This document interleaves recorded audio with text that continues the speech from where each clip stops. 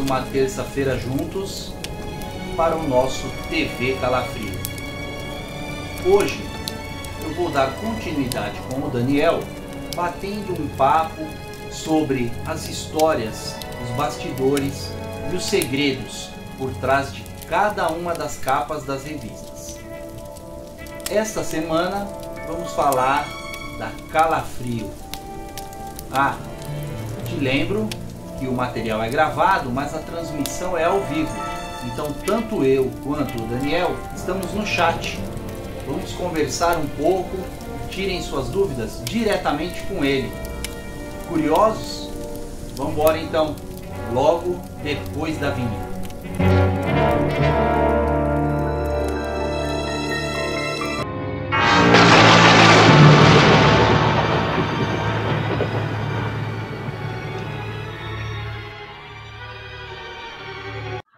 Opa, ah. e aí? Boa noite, Daniel. Tudo bem? Bem-vindo aí. Obrigado por mais um TV Calafrio. Galera que está acompanhando aí, muito obrigado. Não esqueçam, o material é pré-gravado, mas a gente está transmitindo ao vivo. Então, contribui com a gente aí no chat.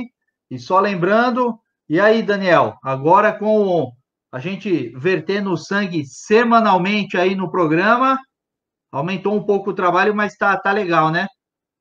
É isso aí, Cássio. Tá bem bacana essa periodicidade semanal e ficou a pista nos programas anteriores, hein? Só depende dos nossos espectadores aí, da presença ao vivo, da participação, para de repente o programa virar bissemanal. Exatamente. Dois por semana, galera. Então, vamos lá, traz inscrito aí, traz gente que compre as revistas, porque a gente precisa fazer isso aqui girar, mas está muito gostoso a participação. Você que está assistindo só a versão gravada, não o momento da transmissão, você não sabe o que você está perdendo. É muito legal a participação no chat, a gente conversa bastante. O Daniel, às vezes, traz aí algumas novidades só no chat. Então, se você perdeu o chat, perdeu novidade. Então já se programa aí toda terça-feira às nove da noite, hein? E hoje a gente vai seguir aí até um, um, eu não lembro se foi alguém no chat ou foi um leitor, ou, um, o papo surgiu. A gente vai falar sobre a história das capas das revistas, não é isso, Daniel? Isso aí, Cássio. Tem uma história bem interessante por trás de cada capa, né?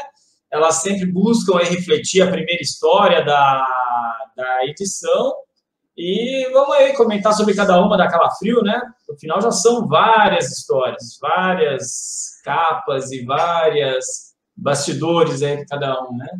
Boa, então vamos lá. A gente já fez um programa falando das capas da Mestres do Terror, mas estava faltando aí a grande Calafrio, que é o, por enquanto, né? E, e acho que na época da, da The Art também não, não tenho essa informação, mas assim, é o grande carro-chefe, né? E eu acho que é o, o nome que mais faz lembrar aí a, a The Art, né? Sem dúvida, é um nome bem. O Zala que bolou esse nome, realmente é um nome muito carismático, né? Muito interessante aí. Um, uma palavra só no título, muito legal.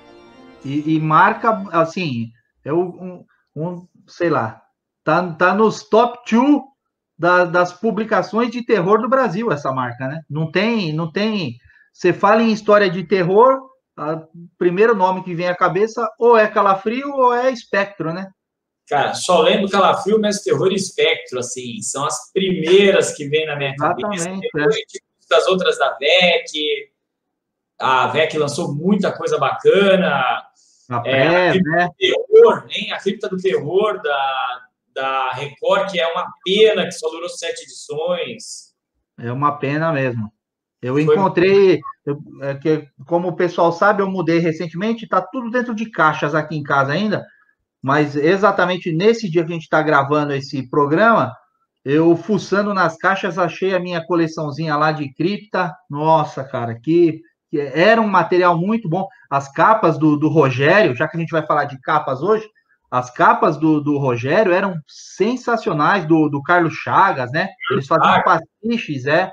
Eles faziam pastiches em cima das capas originais, né, nos primeiros números, sensacionais.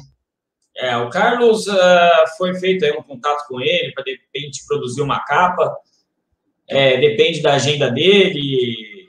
O contato está feito. Vamos torcer para que o Carlos aí, dentro em breve, aí, brinde a gente com uma capa bem legal aí para aquela frio para mestres.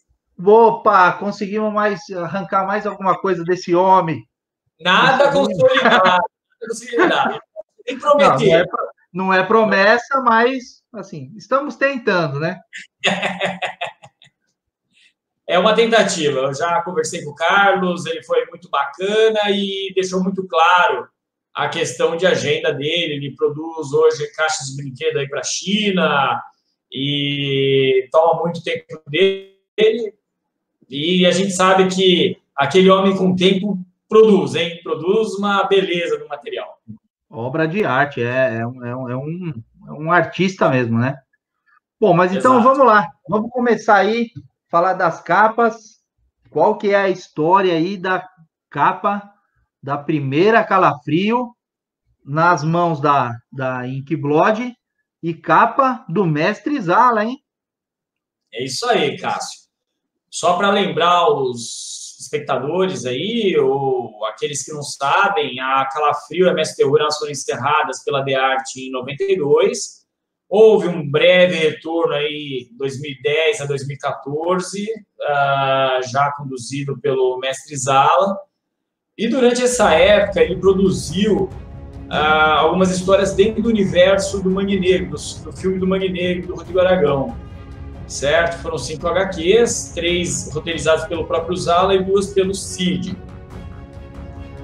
Dentro dessas histórias, quatro ele chegou a produzir, a publicar ainda nas histórias, nas edições colecionador e cancelou a revista em 2014. Em 2015, quando eu entrei em contato com ele, começou a negociação para trazer os títulos de volta.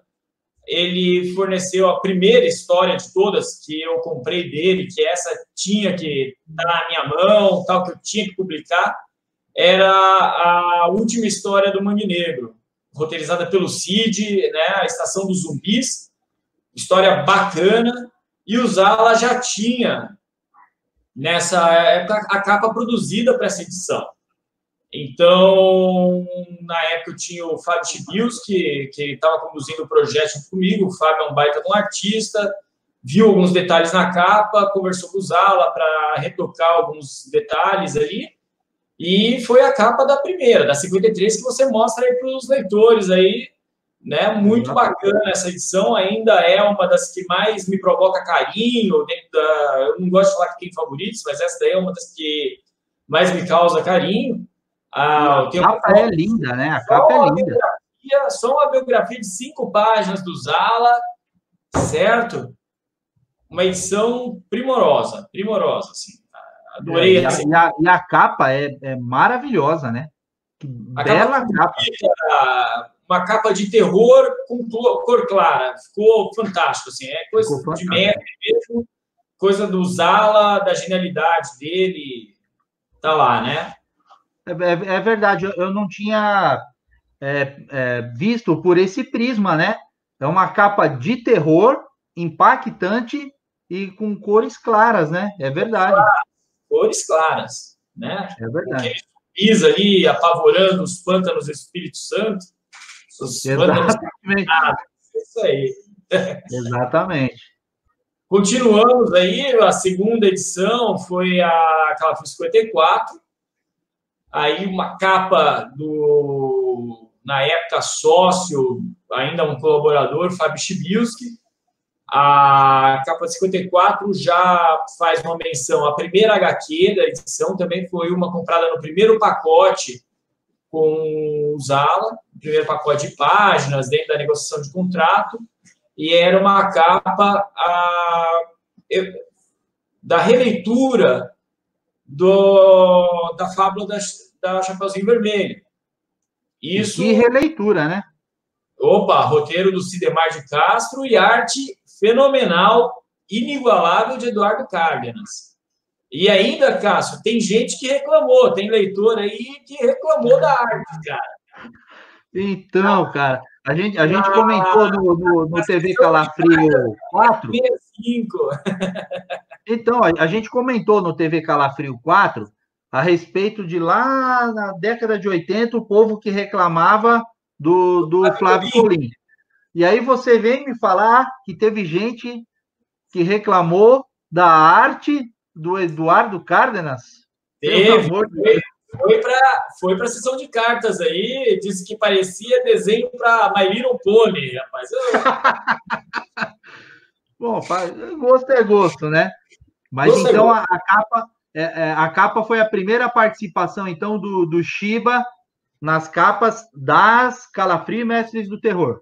Não, não, porque a. Ah, não, só da Calafrio. A 54 saiu a Mestre do Terror 64, né? Bem da cronologia. Isso aí a gente, a gente comentou no programa anterior, no programa exatamente. das capas da, da Mestre, exatamente. Exatamente, a 64 ela é do Shiba já. Exatamente. Bom, depois da 54 veio o número 55, que foi a primeira edição temática das histórias do mar. Certo? Essa aí já foi assim, tinha algumas histórias com a temática dos mares, e na época eu falei para o Fábio, ele já tinha saído do projeto como sócio, e eu falei para o Fábio, Fábio, produz uma capa aí, vamos produzir uma edição que vai ser é, sobre mistérios do mar. E tem uma HQ fantástica, a primeira, né, do Luiz Seidenberg, com uma história de assombração dentro de um navio. Dentro de um navio, é sensacional. Ali está, ali está a capa fazendo menção a essa história.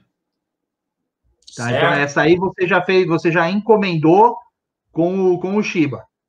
Já foi encomendada com o Shiba, tá? Ah, legal, legal. Logo depois veio a edição que é uma figura entre uma das favoritas entre os leitores, e acho que eu já cheguei a fazer uma confissão de que não é editorialmente uma das minhas favoritas, tá? Porque teve menos material editorial da minha parte. Sim, mas sim. O, que é a da Zona do Crepúsculo. Mas em compensação, você comentou no, no programa que a gente fez, o programa especial, o TV Calafrio 5, especial sobre ela, você comentou que, na sua opinião, é uma das capas mais bonitas da série toda da, das capas da Calafrio, né? Sem dúvida. E, e, acho que foi das capas do Fábio a melhor de todas. Tá? Exatamente. É. Ele estava. No, no o, o, dia que ele pegou para fazer essa capa aí, ele estava virado no giraia, porque a capa é linda, linda. Todo, assim, todo o clima de terror da história, é, uma perfeição técnica dos desenhos, tudo, tudo estava é, fantástico. Os personagens do, das histórias, que o Shiba se esmerou muito nessa aí. Ficou perfeita, ficou perfeita. Ficou. Bom, aí a, veio a 57, que essa a gente precisa fazer um programa logo para comentar sobre essa edição. E a 57 a capa do Shiba também, que já fala de uma é uma temática de palhaços. Certo? Bem bacana. Foi a segunda, foi a segunda temática, né? Foi a segunda temática. Se a gente considerar também que as histórias da 56, que é uma coletânea, foi uma comemoração do ano do projeto, é, também não foi uma temática, mas vamos lá, agora a gente tem um tema que seria os palhaços. Vamos falar sobre ela no próximo programa. Marca, mas... já, já deixei anotado aqui no caderninho. Tá joia. E a, essa aí o Fábio fez uma mescla de Pogo, Bozo e It. Certo? É, então, ficou, ficou o, o, palhaço, assim, você olha, você lembra do, dos três, cara. É muito é. bom, muito bom dos três. O Fábio, até na época, eu falei assim: Fábio, vão ter problema com direitos autorais. Ele falou: não, é uma releitura, uma interpretação minha de três uh, personagens. Exatamente, ele fez uma amálgama dos três ali, né? E, e ficou, ficou show de bola, ficou perfeita. Nos eventos, essa é uma das edições mais vendidas. Tá? Essas é. três edições nos eventos são das mais vendidas. A 55, 56 e 57. Tá? Bem interessante. A, a 56 já esgotou, não? As 55 as 56 já estão esgotadas, as 57 tem pouco mais é, de 10 números, deve ter uns 20 números aí, 20 ah. exemplares. Tá, tá, tá esgotando, tá no redemoinho já. Boa, boa. Que, que esgote logo aí e que a galera comece a pedir, pedir que justifique uma reimpressão, né? Ó, Mas então. Acredito que eu ainda tenho medo. Agora, colocar, fazer, aumentar as tiragens das próximas edições me encorajaria bastante. Seria, seria o primeiro passo, né? Bom, Cássio, aí vem a edição 58, tá? Também é uma edição que eu curto muito.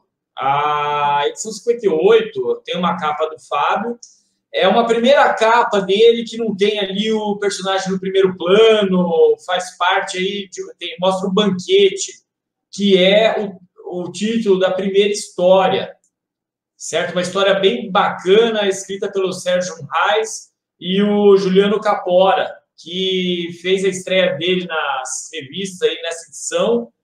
E o Juliano está fazendo um trabalho fantástico muito bom, assim, baita de um desenhista, certo? E essa história aí é bem legal, o Sérgio é meio anárquico, escreveu sobre greve, muito bacana aí a história que os dois armaram nessa. É, essa capa também é bem bem bonita, né? E é o que você falou, é, ela é um pouco diferente das outras, né? Que não traz aquele personagem é, ou em primeiro plano ou, ou, de fundo, assim, né? Com acontecendo alguma ação por baixo. É, realmente é, é, é uma capa bem interessante. E mais uma vez o Fábio é, fez um, um, trabalho muito bom, né? Exato. A história do banquete não, não tá na capa, mas tem uma homenagem bem legal que o Juliano fez para o Flávio Colim no final da história. O, alguns leitores aí, como o Stefan, acabaram pegando aí a, a homenagem. Como você achar que ele não vai pegar algum. Ele ia pegar alguma coisa. Né? É, não. Aquele, aquele lá, cara, ó, você pode, pode botar o easter egg que você quiser que ele descobre. Ô, mineirinho esperto, viu? É, é, ele é. E atento, né? Ele é atento. Esse cara tem é. bola de cristal, cara. Tudo que eu anuncio como, ó, vou anunciar em algum momento uma surpresa, o cara adivinha. Não sei o que é, é isso. Não, mas, mas eu, eu acho que essa que você falou hoje aí, que você fez um contato e pode aparecer alguma coisa do, do Carlos Chagas aí, eu acho que ele nem desconfia, nem passa ele na cabeça. Antes Hã? do contato, ele já tinha pedido capa do Carlos Chagas.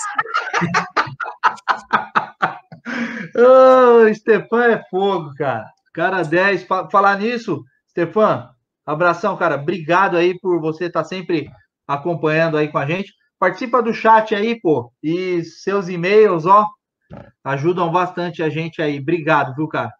Beleza. Veio então mais uma edição assim que foi. Tem um detalhe interessante, tem muita coisa para se falar dessa edição, que foi a 59, o Terror no Cangaço. É, então, tá, tá anotada aqui também, para a gente fazer uma das 59. Essa tem muita, muita coisa para contar dela. E aí a capa ainda do Shiba fez o Lampião, certo? Primeiro plano, uma história do Lampião com zumbis aí, vamos falar numa edição, numa, num programa dedicado a essa história, a essa edição. E o, o modelo que o Shiba pegou para desenhar esse Lampião foi justamente o Renato Aragão. É, então, é, você dá para perceber assim, né? Porque Exato. o Shiba, o Shiba é um artista fora de série, né? E, e essa capa, quando eu peguei na mão, eu fiquei impressionado assim com o, o realismo, né? A, a, perfeição ali nas feições do Lampião e tal. É, é, é uma capa assim. Dava para fazer um daqueles pôsteres que vende na galeria do rock, cara. Olha a ideia, olha a ideia. Vamos conversar com o Shiba aí, ver se é possível. É, então, exatamente. Boa aí, ó. De repente já surgiu mais alguma aí. Isso aí.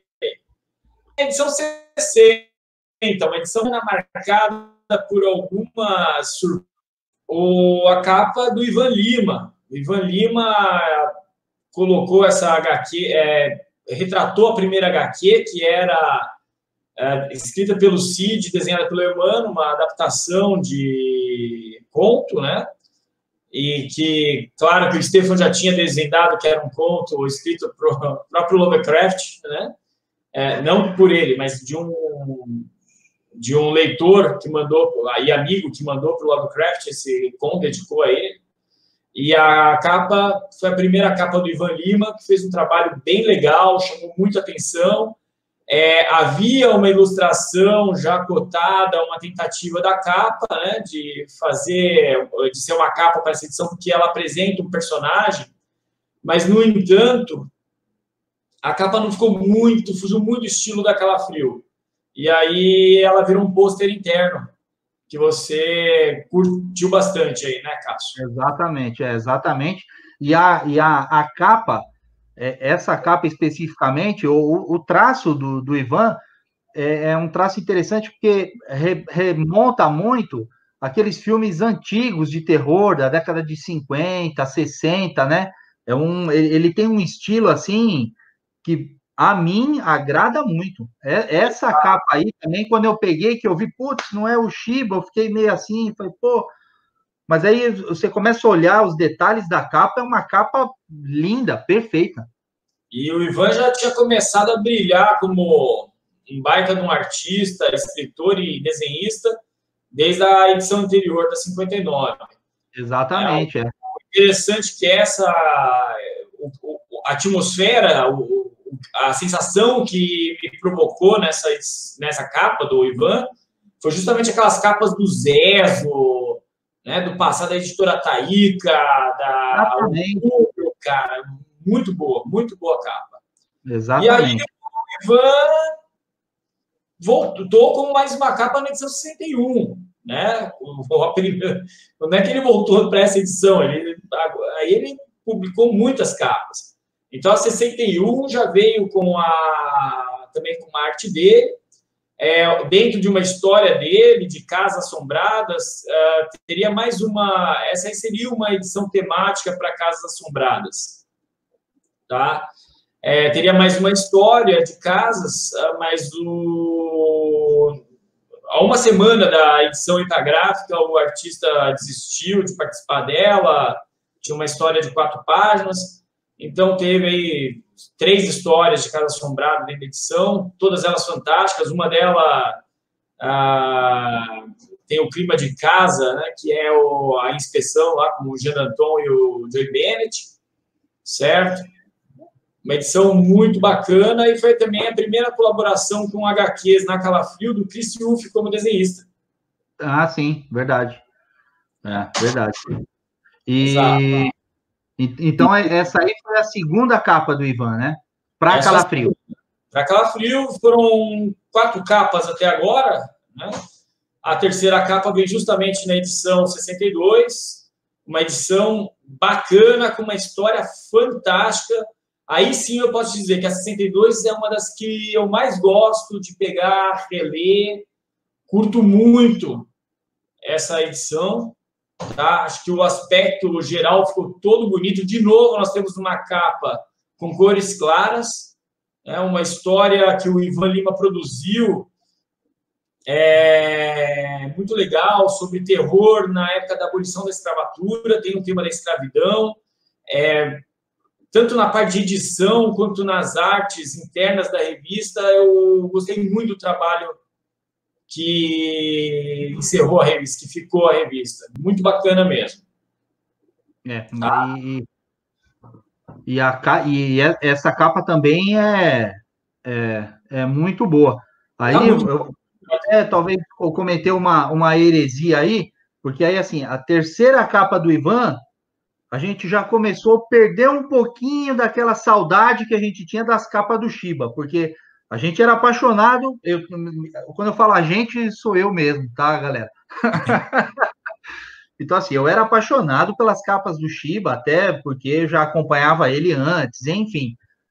Mas aí, vendo as capas do, do Ivan na sequência, na sequência, e sempre capas lindas, né? Aí a gente começa a perder um pouquinho aquela, aquela saudade do, do Shiba, né?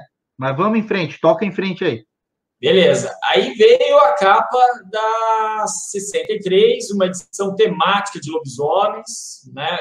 Explodiu. já havia uma proposta de capa dentro dessa edição, mas aí o Ivan Lima produziu uma história muito legal, muito legal de lobisomem no cangaço, tá? Ah, não é exatamente a primeira história da edição, porque a edição abre com uma história clássica do Mestre Shima, certo? Uma história que eu amo, uma das minhas favoritas do Shimamoto, tá ali dentro dessa, dessa é, edição. É, dessa edição. E, e, na verdade, assim, abre acertadamente, né? Foi um, ah. um tiro certeiro do editor dessa revista aí, viu? Valeu. Aí, aí eu agradeço o, o elogio. É, não, mas pô, não, não, não tinha como. Ali, cara, é, é, é aquela história do, do Shima é, é, é, sensacional. Assim, não tinha como você deixar o Shima para uma segunda história ou terceira. Não, não que a segunda e terceira não tenham valor, mas o, o impacto inicial ali tinha que ser, né? E aí o ah. editor foi o editor foi cirúrgico, né? Vamos, vamos comentar sobre a montagem dessa edição aí, porque ainda teve o Eduardo Cardenas fechando a edição. Né? Exatamente. E eu já tinha comentado contigo até. Agora eu vou falar aqui abertamente no programa, não quero nem saber. Eu vou falar e, galera, quem concordar comigo, mete aí no chat aí, vamos fazer um abaixo assinado, que eu, eu gostaria muito que o Cárdenas assumisse uma série de lobisomem, talvez até dando sequência à série de lobisomem do, do Rodival Matias lá da, da, da, primeira fase. E se vira agora, malandro, já mandei. Ó, vamos lá, eu também não vou prometer uma série de lobisomem uh, agora. Só que o Cárdenas vai, vai alegrar muito aí os leitores da Calafrio daqui por diante. Não se preocupem, tá bom? Boa, boa. Já é, já é um, um alento. Isso aí. Veio a edição 64, com essa capa maravilhosa de um capista que já estava me impressionando muito com os trabalhos dele e estava precisando fazer um encaixe dentro do projeto da Calafrio e da Messi. Trabalho muito legal. É, o nome do rapaz é Cláudio Dutra, uma arte fantástica dele, linda, assim, de se admirar. E o que, que aconteceu? Foi a primeira vez que a capa não foi encomendada. O, o Cláudio mandou a ilustração e simplesmente não podia deixar de usar. O, o que, que eu faria com essa ilustração? Transformaria num pôster interno na revista? Poderia ser.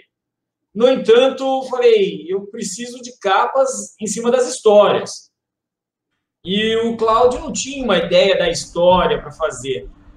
E então foi encomendada a história em função da capa dessa vez. Pô, e aí, que legal, velho, que legal. O grande Clodoaldo Cruz, escritor, e o Chris Uff produziram a primeira HQ da edição baseada na capa. Você mandou a capa para os caras e aí Mandei eles desenvolveram a história. Putz, meu, que legal, que legal. Preciso de uma HQ.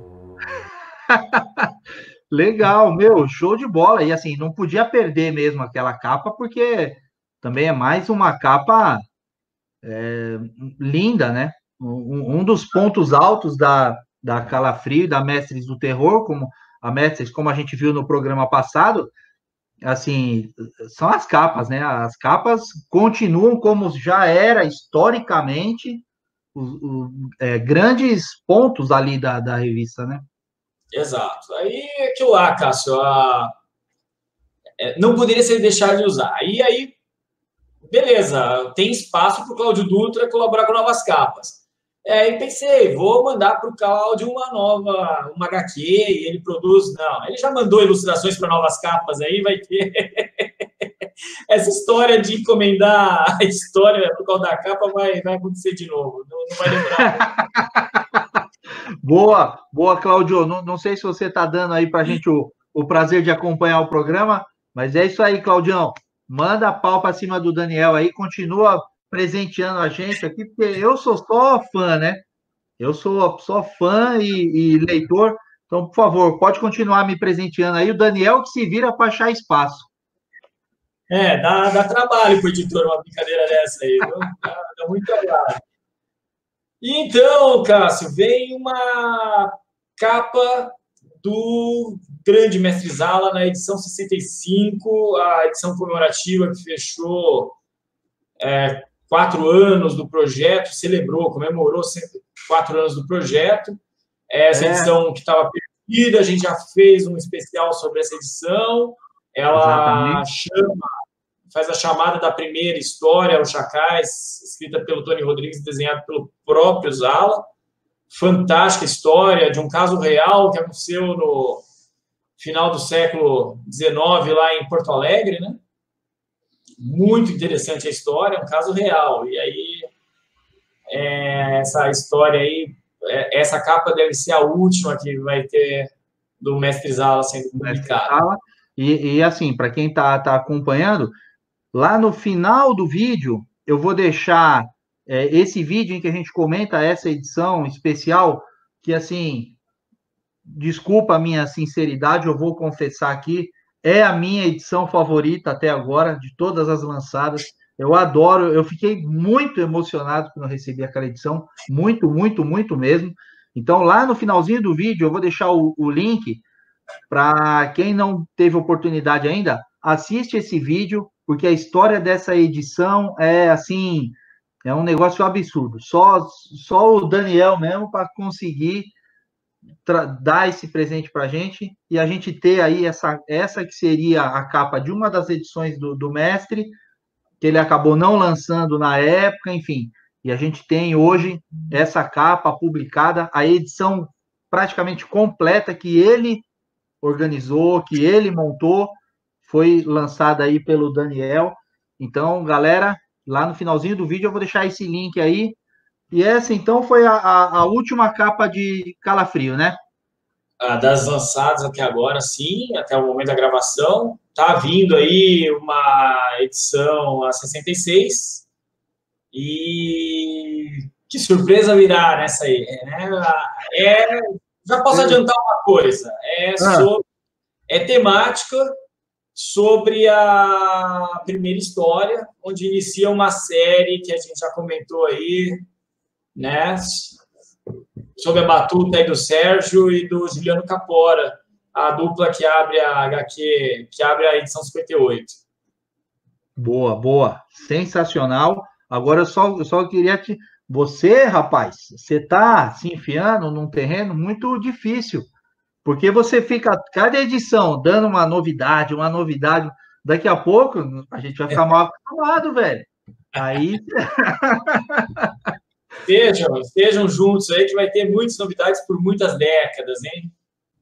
E aí, Cássio, a, a, ainda dentro do título Calafrio, temos a edição especial, com uma capa muito bacana. Foi uma coletânea para fechar, comemorar os três anos do projeto. E aí o Fábio Chibilski fez uma capa muito legal, aí, divertida até, né, com o Rodrigo Aragão, aqueles zumbis todos que não são totalmente capixabas, né, porque afinal ele retratou este editor, retratou o vídeo, e o sacana do Fábio só nos retratou. Vai ser tímido assim, sabe? É, e, e, é, é porque assim, ele zumbi não, né, meu? Só se ele fosse o o matador de zumbis ali. Se tivesse um matador de zumbi, ele se incluía. Ah, eu, eu, sei lá, esse homem é tão recluso lá que ele é zumbi também. é, então, mas foi, é, foi realmente. Uma divertida, né? Foi uma capa divertida por causa desse aspecto ali ter inserido. A, a, a ideia de colocar a equipe lá foi até minha, tá? E eu tava contando com a presença do Fábio, né? Só que aí o cara mandou quando você bem, recebeu, ele não estava. Em da hora, não deu nem para corrigir. Eu desconfio que aquela zumbi mulher lá, ele também meio que usou a esposa dele como modelo, mas isso aí não é, não, aí é, é, não é a Suzana, é assim, eu não posso confirmar se é a Suzana, isso aí um dia o Fábio revela pra gente ou não se é, um dia, Quem sabe a gente não consegue trazer ele para entrevistar no programa, né? Nem, nem, que seja com fundo tudo preto, assim, só o som. Exato, é, é. Fica só um quadrado preto no meio e ele falando. Cara, muito tímido, muito fechado, tá bom? E aí, por causa dessa capa aí, alguns leitores curtiram muito, né? Acharam que era uma sorte, perguntaram se poderiam estar em futuras capas. Não, show de bola. Então, galera, é isso. Espero que vocês tenham curtido aí. Muito obrigado todo mundo que bateu papo com a gente aí no chat. Estava muito legal. Obrigado mesmo. É, ô, Daniel, eu tô Oi. achando que tem, tem alguma coisa estranha aí. Tem uma cabecinha aparecendo aí do lado, uma mãozinha. O que está acontecendo aí? Ah, eu vou falar. O que aconteceu é o seguinte, ó. Tem um like já aí, ó, tá vendo? Aí, boa! Primeiro like do vídeo. Ah, mas aí o que acontece, né? Primeiro, mandando um abraço para os espectadores, obrigado por estar aqui, obrigado pela conversa no chat, é, que estejamos juntos nas próximas, é, agradecer a audiência. E para quem viu uma mãozinha, uma cabecinha toda hora aparecendo, é que hoje tinha um convidado aqui acompanhando a gravação aqui, que é também um leitorzinho aqui, né? Que está fazendo companhia, o senhor Samuel também pediu para estar nas revistas. Deixa o ar. Né? Então, é isso aí. Boa, então o Samuca. Algumas capas vindouras, algumas capas vindouras aí, ele tá. Vai aparecer um rapazinho cabeludo de óculos, assim, ó. Tá vendo? Só que eu aí. Aí, galera, vamos, vamos ficar atento então. Vai ter um catapiolho aí nas próximas capas aí. Vamos ver se a gente acha o, o Samuca. Exato. Mesmo que a versão não seja tão cronológica, nem da idade, assim, né? Mas vai lembrar. Tá certo. Bom, beleza, galera. Então foi isso aí. Muito obrigado. Daniel, Samuca, obrigado aí pela participação. Eu queria só pedir então para vocês aquela de toda semana, né? Me dá seu voto de confiança, pô. Se inscreve aí no canal, toca no sininho, deixa like aqui pro titio e não se esqueça, na próxima terça-feira, nove da noite, a gente tem programa marcado, ok? Bom, galera, e agora então, no finalzinho, eu vou deixar aí os links de, dos programas mais antigos do TV Calafrio. Me ajuda aí, assiste esses vídeos, distribui, divulga aí, vamos fazer o canal crescer. Valeu, galera. Sem mais delongas, fui!